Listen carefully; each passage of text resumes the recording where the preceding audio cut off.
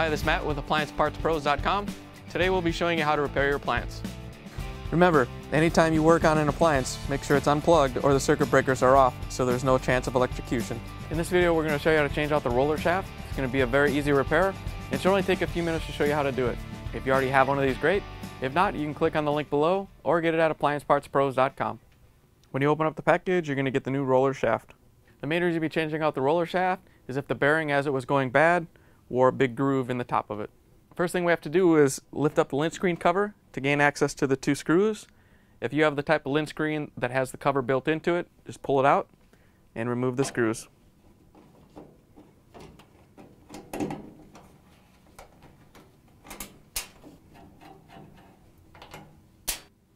Then we have to take a putty knife and about two inches in from each corner, there's a little locking tab that you have to press in and release so you can lift up the top.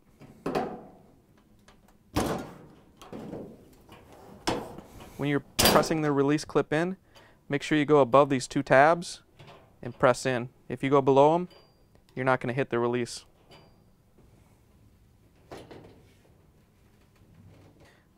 Then we have to release the door switch, wiring harness. Take your screwdriver and release the clip.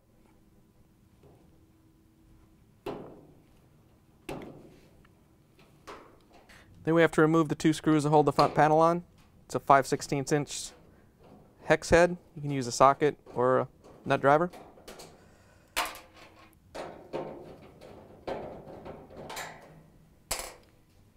Now that the two screws are out of the front panel and the door switch is disconnected, we can take the front panel off. So you can pull it forward a little bit and it actually rests on two little clips down at the base of the machine. So you need to lift it up.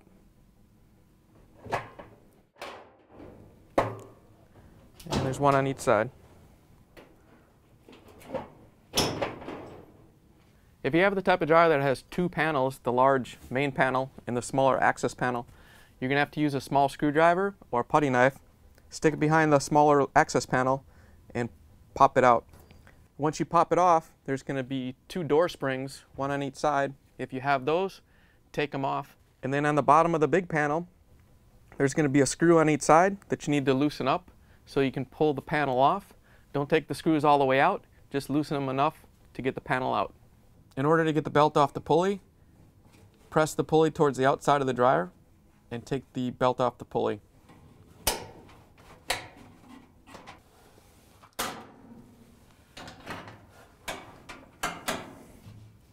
Now that we have the idler pulley off the belt, we can grab the belt and support the drum and pull it out of the front of the dryer.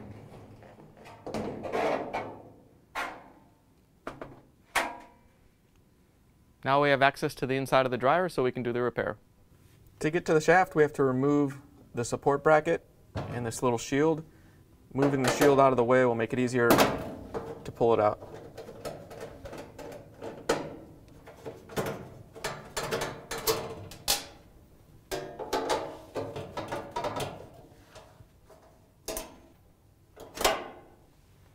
Now that we have the shield out of the way, we can remove the support bracket. It's also held in by a 5 16 inch screw to the bottom of the machine. Once we have that off, we can take a small screwdriver and remove the Tinnerman clip that holds the bracket on.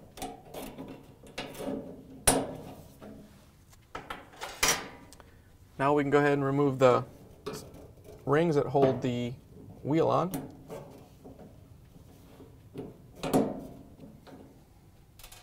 pull the wheel off and remove the rear clip.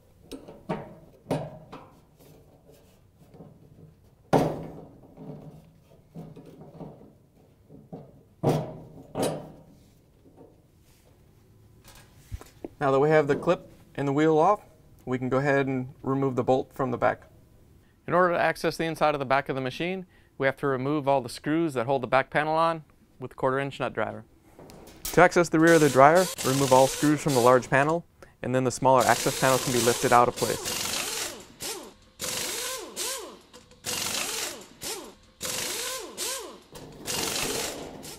Now with all the screws out, we can remove this small panel so it doesn't fall off, and then take off the large back panel. To get the shaft out, we have to remove this nut. It's a 9 16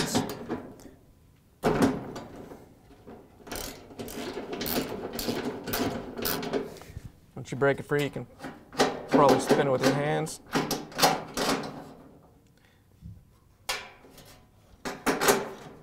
And take off the washer. Here's the old shaft next to the new shaft. If you already have one of these, great. If not, you can get it at appliancepartspros.com. In order to put the new shaft in, first thing we're going to have to do is replace the washer on it. And then put it back in the mounting hole. And in order to get the nut on the back, we're going to have to hold the shaft on the front so it doesn't spin. Make sure you grab it on the tip, not up here where the roller goes. While you're holding the shaft on the front, reach around back and tighten down the nut. Now that we have the nut tightened down on the back, we have to put our retaining clip over the first groove in the shaft. Once you get it past the first groove, you can just push it back into the rear groove. You can push the wheel back on. And the front retaining ring.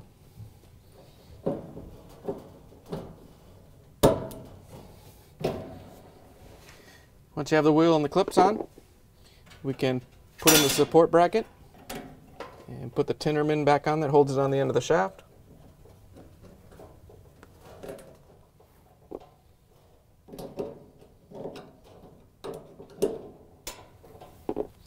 And then we have to put the screw that holds it back into the floor.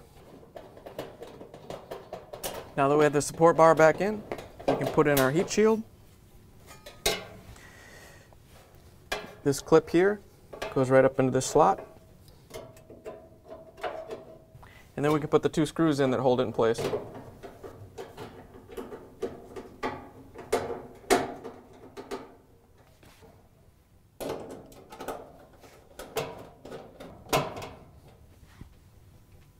That we have the roller shaft installed and everything put back in, we can put the dryer back together. To put the drum back in, lift it up by the belt and guide it through the front panel.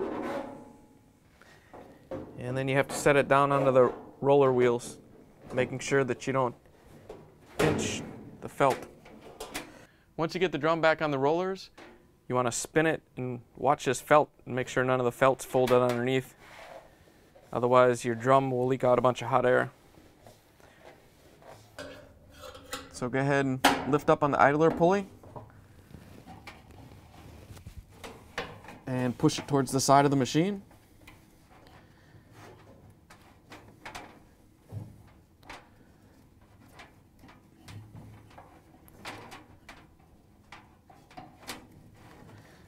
Then create a loop in the belt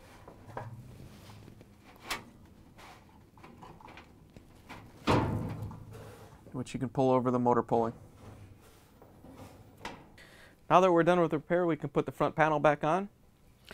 Remember, the front panel locks onto these little teeth that stick out.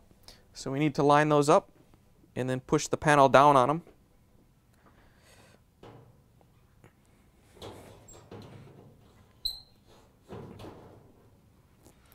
And while you're doing that, you got to remember to lift the drum up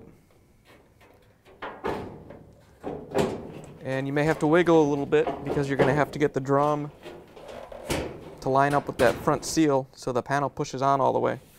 So you may have to wiggle the drum a little bit to get it in all the way. Once you have the front panel on, you can go ahead and put your 5 16 screws back in and attach the front panel.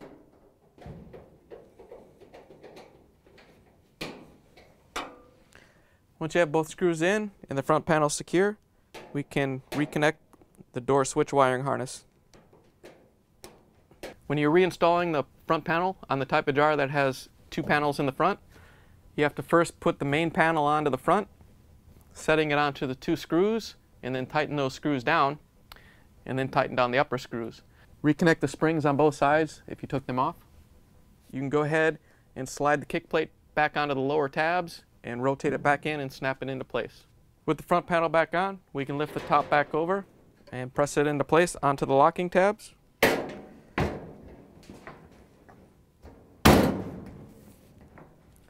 Once we have those in, we can go ahead and line up the screw holes for the lint screen.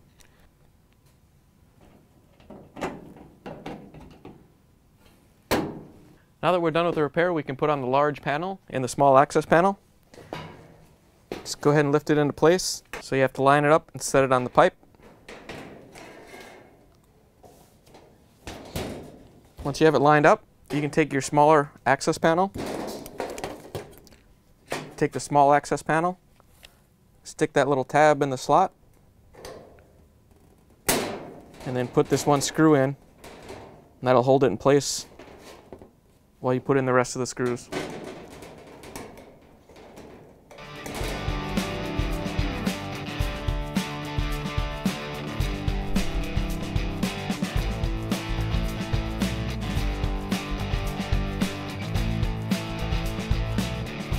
Now that we're done repairing the appliance, we can plug it back in and take it for a test spin.